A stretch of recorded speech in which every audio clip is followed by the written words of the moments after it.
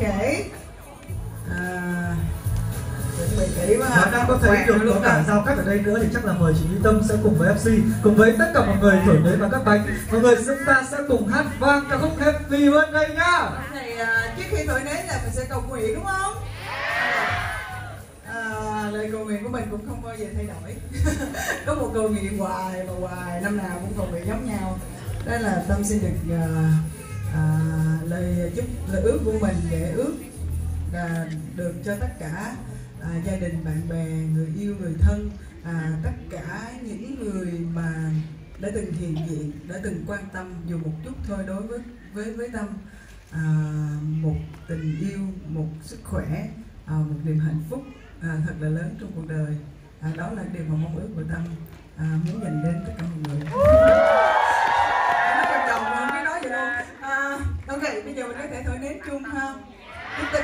được thật nhiều sức khỏe niềm vui và thật thơm hoa hạnh phúc ha. Một hai ba.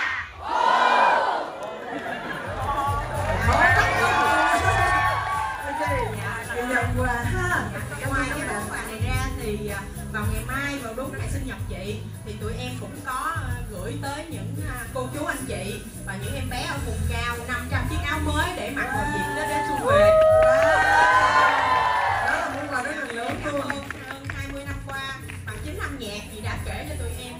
Nghe bao nhiêu là những câu chuyện vui buồn, cũng như là dạy cho tụi em biết yêu thương, chia sẻ và trân quý những điều tốt đẹp nhất trong cuộc sống. Và điều tụi em muốn nói với chị là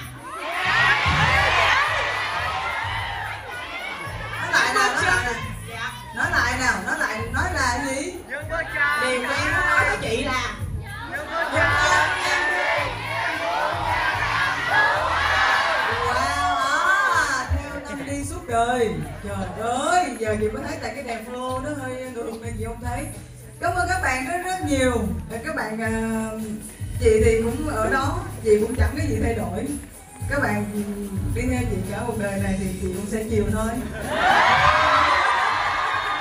Đúng không nào? và vẫn vẫn chưa hết chị ạ vẫn chưa Vẫn hết chưa hết dạ. hả?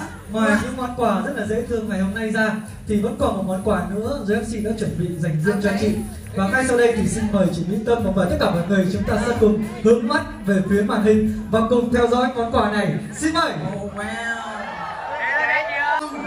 Có nghĩa nếu mà bây giờ mà chỉ có con là năm sau Là bây giờ con em bao nhiêu tuổi rồi mà đòi làm sư gia Em chưa có con luôn mà em đòi làm sư gia với chị.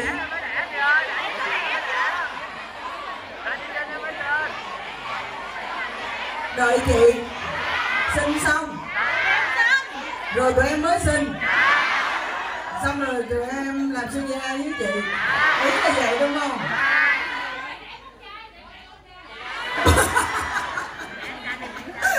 Rồi mà chị để, để con trai Thì tụi em phải bắt buộc phải để con gái. Và ngược lại đúng không? Rồi Điều Ráng đi em. Trăm đi em. Sư gia chỉ có một thôi. Một đấu với mấy chục triệu đó. Do you wanna marry me? Em nào, em nào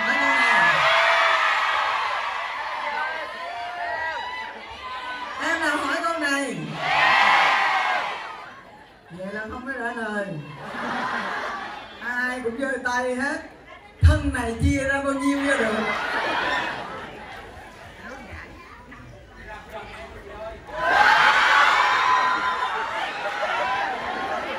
Một dòng trầm nam thốt lên, chị làm chồng em đi chị ơi. Em đã mang lên cho chị một cái nỗi xúc động vô biên với câu nói ấy, cộng với giọng nói ấy.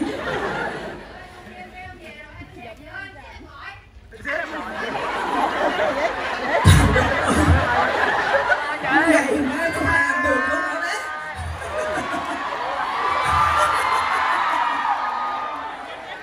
Bây giờ em nói sếp em á. Một á, là nhận em làm. Hai em nghỉ việc. Chứ em đang bận lắm em đang bận gặp thì đi tâm đang nói chuyện vui lắm. Ok thank you em. Sau lần livestream làm bún mắm nêm Chị có dự định khi nào làm tiếp vlog chia sẻ công thức món ăn cho tụi em nữa không? Không em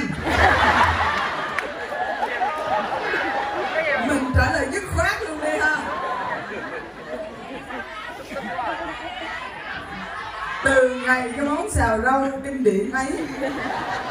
Chị đã có những lần cố gắng trong một cái sự vui Vui mừng, hứng khởi.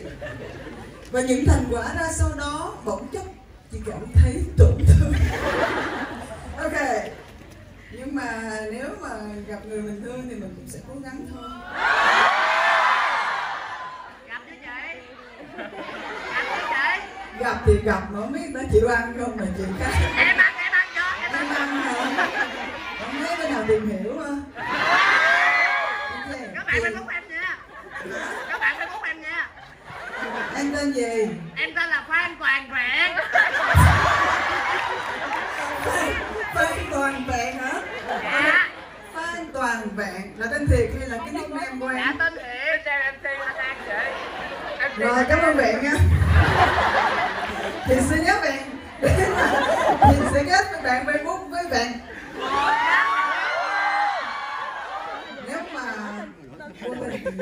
ngày đẹp trời nào đó là chị sẽ ứng em gửi lâu rồi. Bây giờ em phải gửi lại chứ gửi lâu là nó mất rồi. Rồi em gửi tiền em gửi tiền Rồi em gửi liền đi. Thể hiện ba nét diễn khác nhau khi chị được crush tỏ tình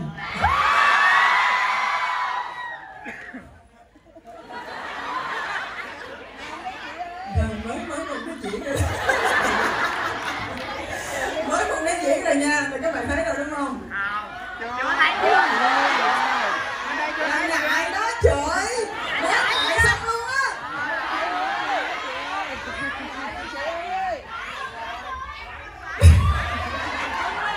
Đó đó là mới cái đó chị làm làm mới là cái đầu tiên khi mà người ta nói là à, em thích chị nhớ. Đến như cái là à, nhớ tâm quá cái là ô vậy hả? Ô ô ô vậy hả? Đó là một xong rồi sao nữa? Nếu mà người ta nói câu thứ hai là cái gì? Ai hấp vô là tỏ tình hả? Hả?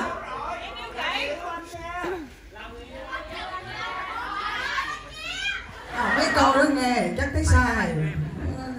Ví dụ như Chris ta tỏ tình là ta tinh, tế lắm không? Ví dụ như ta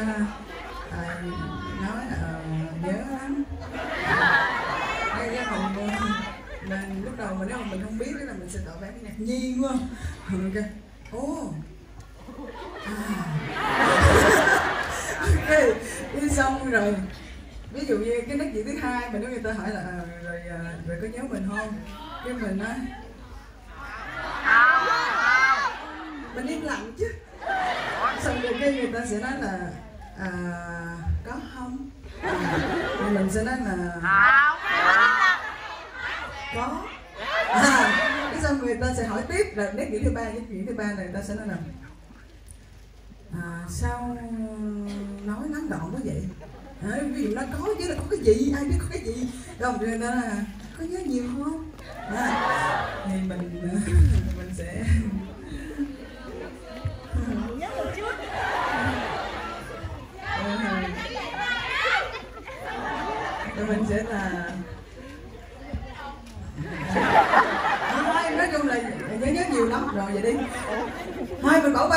mà tại sao tụi em phải hỏi về chi vậy?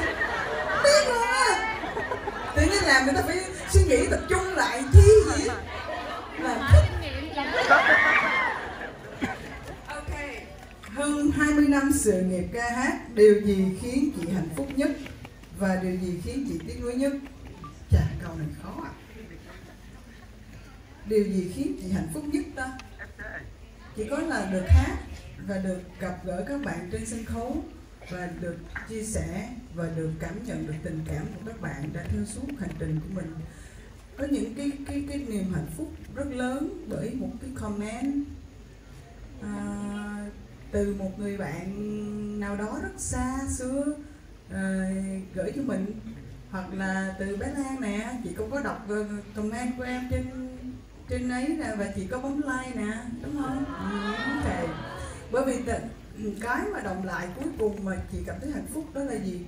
Um, để mà 20 năm mà mình được mọi người yêu mến và được trân quý giữ những cái tình cảm đó là cái đó nó quý giá hơn tất cả những cái thứ khác mà mình đang có. Cho nên là khi được mình gặp được những người mà người ta hiểu mình và người ta dành cho mình những cái tình cảm đặc biệt đó, là các bạn sẽ hiểu được cái cảm xúc của chị là chị cảm thấy hạnh phúc nhất là điều gì chỉ cần vậy. Cái việc thứ hai là điều gì mà chị cảm thấy tiếc nuối? À, thường á. Ủa các bạn cười gì vậy? À cái tiếng chuông báo thức hả? Có gì đâu cười chị không hiểu cái tiếng chuông báo thức à ý nó hết giờ á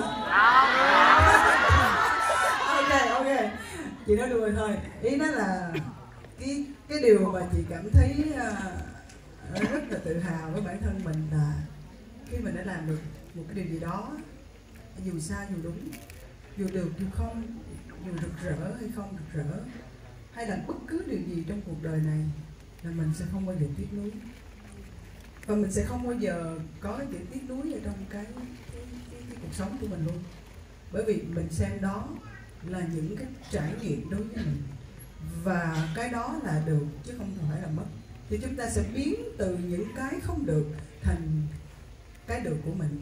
Tất cả những sự đau khổ, tiếc nuối, thất bại hay là cái gì đó đều là những cái mà chúng ta nên cảm thấy đó là một niềm hạnh phúc và một cái gia vị cực kỳ đẹp, ngon trên cái con đường của mình. Nên chúng ta không hề tiếc nuối.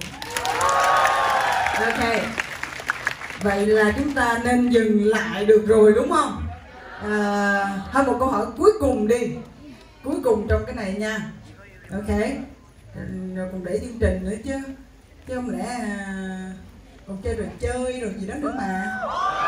Thường thường FC các bạn phải có chơi trò chơi để tương tác với chị chứ còn nãy ngồi dưới không thì đâu có vui. Nếu sau này con của chị cũng cuồng một người nào đó như tụi em phát cuồng chị thì chị sẽ như thế nào? Chị sẽ không chịu đâu. Chị sẽ bắt con chị cuồng chị luôn. Nói chung là vậy. Con mình là mình phải luyện train như à, cuồng cô mỹ tâm nha con.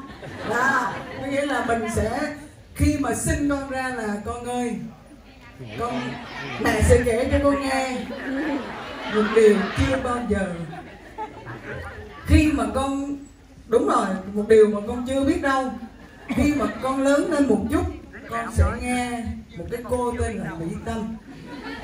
Và cô ấy sẽ ru giấc ngủ của con một buổi đêm bằng những bài hát thanh xuân rất đẹp của cô ấy.